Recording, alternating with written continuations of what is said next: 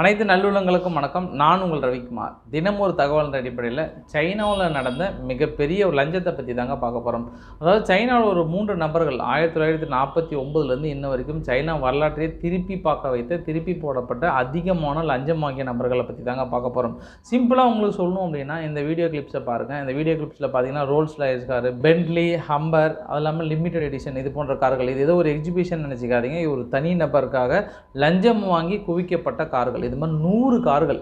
இந்த கார்கள் மட்டும் இல்லாமல் அவங்க வீட்டிலேருந்து கைப்பற்றப்பட்ட தங்கம் பார்த்தீங்கன்னா பதிமூணு புள்ளி அஞ்சு டன் கோல்டு இது இல்லாமல் ரெண்டாயிரத்தி எழுநூற்றி பத்தொம்போது அடுக்குமாடி குடியிருப்புகள் அவர் மேலே ரிஜிஸ்டர் ஆகிருக்கு இது மாதிரி பல நிறைய சொல்லலாம்.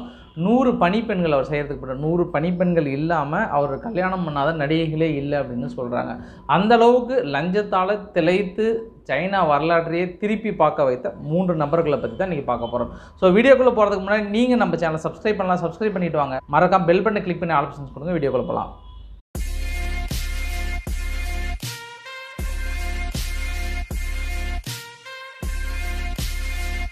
முதல்ல நம்ம பார்க்க போகிற நபர் வந்து லீவை தாங்க. லீவை பார்த்தீங்கன்னா formal general manager of Harbin power industry group of company so இதுக்கு வந்து ஒரு ஜென்ரல் மேனேஜர் ஆகிறாரு. இவர் தன்னுடைய பதவியை வைத்து கொண்டு மீதி இருக்கிற ரெண்டு பிரதர் பிரதர்ஸ் இருக்கிறாங்கல்ல அவங்கள வச்சு தான் ஃபுல் லஞ்சமும் வாங்குறாரு. நார்மலாக இந்த வீடியோ கிளிப்ஸ் பாருங்கள் இது வந்து நார்மல் எஜிபிஷன் நினச்சிடாதீங்க. இது வந்து ஒரு வீட்டோட அமைப்பு. பைத்தான் ரோப் அப்படின்னு சொல்லுவாங்க. பைத்தான் ரோப் அப்படின்னா ரொம்ப ரொம்ப ரொம்ப ஃபெமிலியராக இல்லை ரொம்ப பணத்தால் திளைக்கப்பட்ட நபர்களால் மட்டும்தான் இருக்க முடியும். அந்த மார்பிள்ஸ் எல்லாம்ன்றாரு ஆனால் அது அவங்க வீட்டில் இருந்துருக்குன்றாங்க.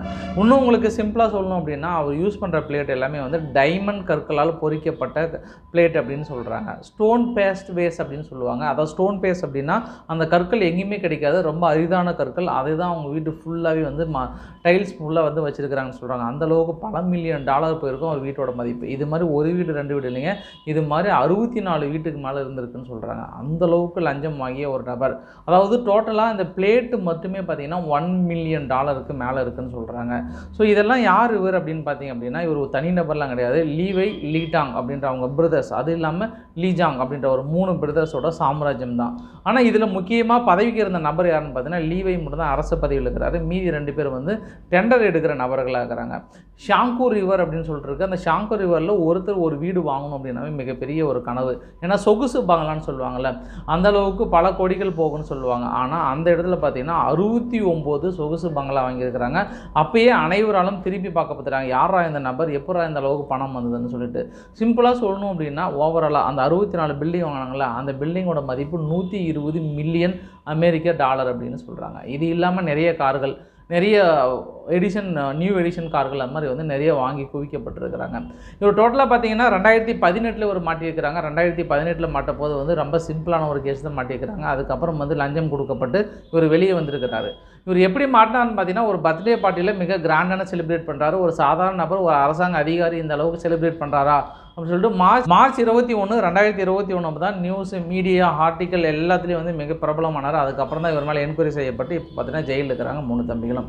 ஸோ இவர் யார்? இவர் எப்படி லஞ்சம் வாங்கினார் அப்படின்றத ஃபஸ்ட்டு பார்க்க போகிறோம் லீவை லீஜான் லீ ஜியான். இவங்க மூணு பேர் தான் பிரதர்ஸ் இவங்க மூணு பேர் தான் டோட்டலாக இந்த லஞ்சத்தில் ஈடுபடுறாங்க. ஹர்பி பவர் ஸ்டேஷனுக்கு ஃபஸ்ட்டு ஃபஸ்ட்டு ஒயர்மேனாக ஜாயின் பண்ணுறாங்க ஒயர்மேனோட வேலை என்ன? ஒரு மரத்தில் ஏறி அங்கே ஏதாவது கனெக்ஷன் விட்டுருந்தா கனெக்ஷன் கொடுக்குற வேலை. அப்படி இல்லைனா எனி டைம் இருந்தாலும் எந்த மரத்தை ஏறணும் அப்படின்னா லீவையை கூப்பிடுங்க அப்படின்னு சொல்லுவாங்க. ரொம்ப ரொம்ப கீழ்நிலை கடைமட்ட வேலைக்கு போய் ஜாயின் பண்ணியிருக்கிறாரு அப்போ ரெண்டாயிரத்தி பத்தில் இவருக்கு ஒரு போஸ்டிங் வருது. மேனேஜர் போஸ்டிங் வருது. இந்த manager posting of Harbin power ஸ்டேஷனுக்கு மேனேஜராக வராரு.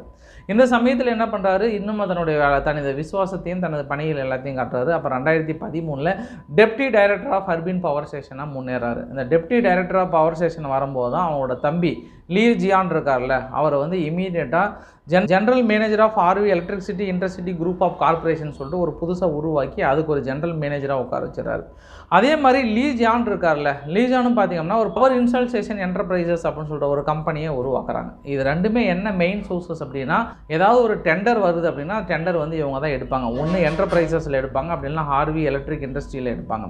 இது ஓவராலாக எந்த கன்ஸ்ட்ரக்ஷன் கவர்மெண்ட்டு கிட்ட வந்தாலும் அதை லீவை தான் வந்து அப்ரூவல் கொடுக்கணும். கொடுக்கணும். அப்படி லீவை அப்ரூவ் கொடுக்கும் பட்சத்தில் தனது தம்பிகள் ரெண்டு பேர் இருக்கிறாங்களா இவங்களோட கம்பெனி தான் அதிகபட்ச அப்ரூவல் கொடுத்துருக்குறாங்கன்றாங்க.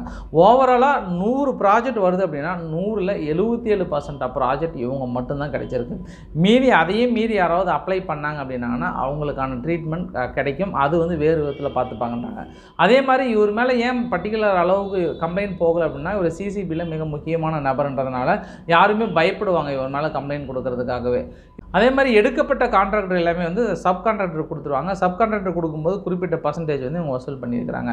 இது இல்லாமல் ஒரு சின்ன குண்டூசி வாங்கினாலும் வந்து இந்த கம்பெனி மூலியமாக தான் பர்ச்சேஸ் பண்ணியிருக்கிறாங்க. எதுனாலும் சரி எல்லாமே கம்ப்ளீட்டாக அவங்க ரெண்டு தம்பி பிரதர்ஸ் இருக்கிறாங்கல்ல அவங்க மூலியமாக தான் டோட்டலாகவே அந்த ஹார்பன் பவர் ஸ்டேஷனே வந்து கண்ட்ரோலுக்கு வந்திருக்கு.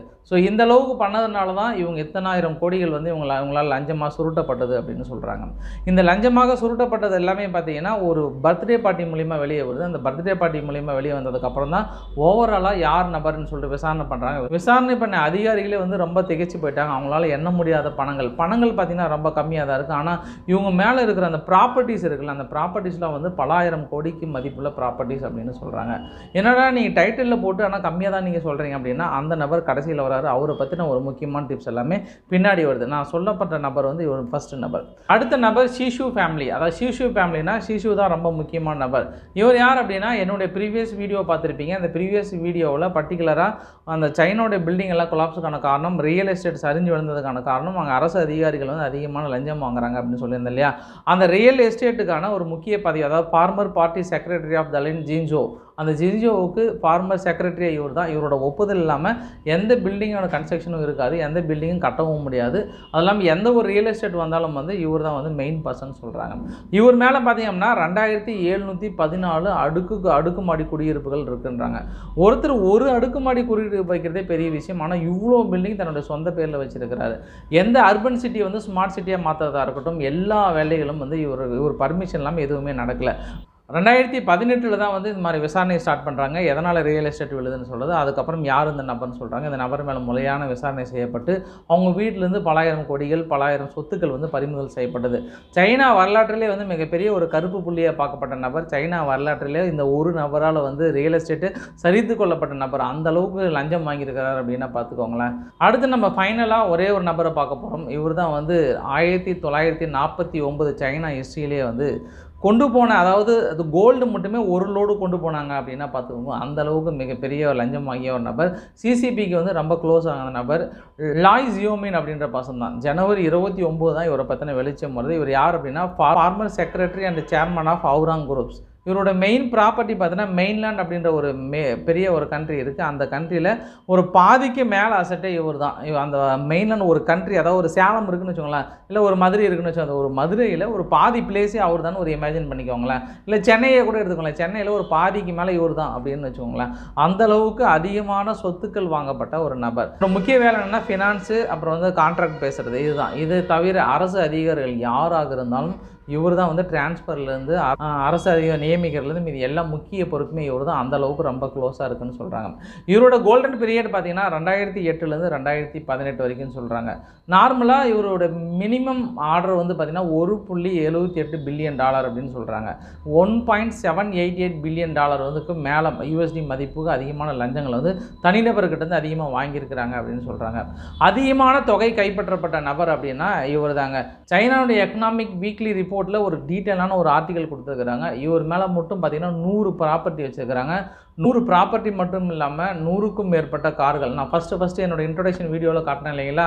அந்த கார் அந்த ரோல்ஸ் ராயல்ஸ் கார் ஒன்று வாங்கினாவே இங்கே படுற கஷ்டம் பெரிய கஷ்டமாகுது. ஏன்னா அதுக்கு டேக்ஸ் கட்டுறதுலேருந்து பெரிய விஷயமா இருக்குது ஆனால் இங்கே பார்த்தோம்னா ரோல்ஸ் ராயல்ஸ் மட்டும் ஐம்பது கார் வச்சுருக்கிறாங்கன்னு சொல்கிறாங்க ஹம்மர் கார்லேருந்து அத்தனை காருமே வச்சுருக்கிறாங்க. கார் கலெக்ஷன் மட்டும் நூறுக்கு மேலே இருக்குன்னு சொல்கிறாங்க அதே மாதிரி இவரோட பணிப்பெண்கள் பார்த்தீங்கன்னா நூறு. பணிப்பெண்கள் மட்டும் இல்லாமல் ஒய்ஃப் மட்டுமே மூணு நாலு ஒய்ஃப்னு சொல்கிறாங்க அது இல்லாமல் இவர் வந்து மாதத்துக்கு ஒரு நடிகை கூட தான் சுற்றுவார் இவர் கல்யாணம் பண்ணாத நடிகைகளே இல்லை அப்படின்னு ஒரு பெரிய லிஸ்ட்டே போடுறாங்க. யார் இவர்? இந்த நபர் எதுக்காக எத்தனை பெண்களை வச்சுக்கிறார் இத்தனை பணிப்பெண்களை எப்படி ஒரு மேனேஜ் பண்ணுறாரு எங்கே போனாலும் பெண்களோடய போகிறாரு அப்படின்றதெல்லாம் வந்து சி சிசிபியோட செலிப்ரேஷன் ரெண்டாயிரத்தி பன்னெண்டுலேருந்து ரெண்டாயிரத்தி பதினேழு ஒரு முக்கிய நபராக இருந்தார். ஒரு முக்கிய நபர் இந்த அளவுக்கு இவ்வளோ பெரிய சொத்துக்கள் வாங்கிறான்னு பெரிய ஒரு கம்ப்ளைண்ட் அவர் மேலே எழுந்தது. எல்லா மீடியாக்களும் இவரை பற்றின ரிப்போர்ட்டும் மற்ற டீட்டெயில்ஸ் எல்லாமே கொடுக்குறாங்க. ஆனால் சிசிபி என்ன பண்ணுறாங்க ஓவராலாக அனைவரோட வாயுமே அடைக்கிறாங்க. அந்தளவுக்கு ஒரு பெரிய நபரும் இல்லை. இவர் வந்து சாதாரண நபர் தான். சும்மா தான் சொல்கிறாங்க அப்படின்ற மாதிரி சொல்கிறாங்க ஆனால் அதுக்கப்புறம் தான் இவர் மேலே வந்து விசாரணை செய்யப்பட்டு அங்கே இருக்கிற நகைகள் எல்லாமே வந்து திரும்பி ரெக்கவரி எடுக்கும்போது பார்த்தீங்க அப்படின்னா பதிமூணாயிரம் டன் கோல்டு அப்படின்னா வந்து இமேஜின் பண்ணிக்கோங்க. அது இல்லாமல் வந்து பணம் வந்து அவங்களால எண்ணவே முடியாத பணங்கள்னு சொல்கிறாங்க சிம்பிளாக இந்த நபர் எப்படி மாற்றாரு? எப்படி இவர் வந்து வெளிச்சத்துக்கு வரான்னு பார்த்தீங்க அப்படின்னா ஒரு சூப்பர் மார்க்கெட்டில் நூறு மில்லியன் டாலருக்கு மேலே வந்து அடுக்கி வைக்கிறாரு. அதாவது ஒரு சுவர் மாதிரி கிரியேட் பண்ணி பின்னாடி அடுக்கி வைக்கிறாங்க. அந்த சூப்பர் மார்க்கெட்டில் ஒர்க் பண்ணுற பசங்களுக்கு யாருக்கும் தெரிஞ்சிருக்கு அதை அவங்க கொள்ளடிக்கிறாங்க. அப்படி கொள்ளடிக்கும் போது இவர் என்ன பண்ணுறாரு ஸ்டேஷனில் போயிட்டு கம்ப்ளைண்ட்டும் கொடுக்க முடியாமல் ஆனால் வேறு வழியே இல்லை கொடுத்ததாகணும் அப்படி கொடுக்கும்போது இவ்வளோ டாலர் இவ்வளோ மதிப்பு எப்படி உங்களுக்கு வந்தது அப்படின்னு சொல்லிட்டு ஃபஸ்ட்டு என்கொயரி ஸ்டார்ட் பண்ணுறாங்க அதுக்கப்புறம் தான் வந்து கொஞ்சம் கொஞ்சமாக ஸ்டார்ட் பண்ணி இது அனைத்துமே வந்து வெளிச்சத்துக்கு வருது. ஓவராலாக ரெண்டாயிரத்தி பதினஞ்சுலேருந்து பதினாலு வரைக்கும் சிசிபி கவர்மெண்ட்டோட ஓவரால் ரிப்போர்ட் ஒன்று கொடுக்குறாங்க. இந்த ரிப்போர்ட் என்ன பண்ணால் ஆஃப்டர்நூன் பார்ட்டி மட்டும் இல்லாமல் ஒரு மிகப்பெரிய ஒரு பிரபல நியூஸ் மீடியாவும் கொடுக்குறாங்க. அதாவது கவர்மெண்ட்டோட வளர்ச்சியில் எந்த அளவுக்கு கவர்மெண்ட் ஆஃபீஸர்ஸுக்கு மட்டும் செலவு பண்ணுறாங்க அப்படின்னு பார்த்தீங்கன்னா எல்லா நாட்டோடையும் கம்பேர் பண்ணுறாங்க ஜெர்மனி ரெண்டு புள்ளி ஏழு பர்சன்ட் பண்ணுறாங்க அதே எகிப்து மூணு புள்ளி ஒன்று பர்சன்ட் இந்தியா பார்த்தீங்கன்னா ஆறு புள்ளி மூணு பர்சன்ட் கனடா ஏழு புள்ளி ஒரு பர்சன்ட் ரஷ்யா ஏழு புள்ளி ஆறு பர்சன்ட் ஆனால் சைனா 감사합니다. முப்பது பர்சன்ட் டோட்டல் ரெவன்யூலேருந்து முப்பது பர்சன்ட் யூஸ் பண்ணுறாங்கன்னு மிகப்பெரிய ஒரு குற்றச்சாட்டு எழுந்தது. ரெண்டாயிரத்தி பதினாலுலேருந்து பதினேழு வரைக்கும் ஆறு லட்சத்தி பத்தாயிரத்துக்கு மேலே அரசு அதிகாரிகள் வந்து நிறைய பேர் வந்து ரிட்டையர் ஆகிருக்கிறாங்க அதெல்லாம் மிலிட்ரி ஆஃபீஸர்ஸ் கவர்மெண்ட் ஆஃபீஸர்ஸ் இது மாதிரி அரசு அதிகாரிகள் இவங்களுக்கு எல்லாம் வந்து சலுகைகள் பார்த்திங்க அப்படின்னா என்ன வரைக்கும் எழுநூற்றி இருபத்தஞ்சி பில்லியன் டாலர் வந்து செலவு பண்ணிக்கிறாங்க. ரிட்டையர்மெண்ட் ஃபண்டு இது மாதிரி வந்து நிறைய அமௌண்ட்டு இது எல்லாமே டோட்டல் ஜிடிபியில் ஒன்று புள்ளி மூணு பர்சன்ட் இருக்குது அது இல்லாமல் அதோட க்ரோத்தில் பார்த்திங்கன்னா சிக்ஸ் பாயிண்ட் டூ பர்சன்ட் வந்து இதுக்காகவே செலவு பண்ணுறாங்க அப்படின்னு சொல்கிறாங்க அரசாங்கம் வந்து ஏற்கனவே இதுக்காக செலவு பண்ணுற தொகை மட்டும் ஒரு பக்கம் முப்பது பர்சன்ட் இருந்தாலும் இதனால் லஞ்சமாக பொருளப்படுகிற நிறைய தொகைகள் வந்து அது கணக்கிலே இல்லை அப்படின்னு சொல்கிறாங்க நிறைய பேர் வந்து கம்யூனிசம் இருந்தால் வந்து லஞ்சமே இருக்காது ரொம்ப நேர்மையாக இருக்கும் அப்படின்னு சொல்கிறாங்க ஆனால் அந்த சைனாவோட ரோல் மாடல் பார்த்திங்க அப்படின்னா எங்கே பார்த்தாலும் லஞ்சம் தான் திளைத்திருக்கு. என்னோட தொடர்ந்து என்னோட வீடியோக்கள் எல்லாமே பார்த்தீங்க அப்படின்னா உங்களுக்கு கிளியராக இருக்கும். அங்கே இருக்கிற லஞ்சம் பற்றின வீடியோக்கள் பற்றி அதே மாதிரி சைனாவில் என்னென்ன நடக்குது அப்படின்றத நான் தொடர்ந்து என்னோட வீடியோக்களை வெளியிட்டிருக்கிறேன். கண்டிப்பாக உங்களுக்கு பிடிச்சிருக்கும் நம்புறேன் பிடிச்சிருந்தா லைக் பண்ணுங்கள் ஃப்ரெண்ட்ஸை ஷேர் பண்ணுங்கள் சப்ஸ்கிரைப் பண்ணுங்கள் ரவிக்குமார் சோமன்ற சேனலில் நன்றி வணக்கம்.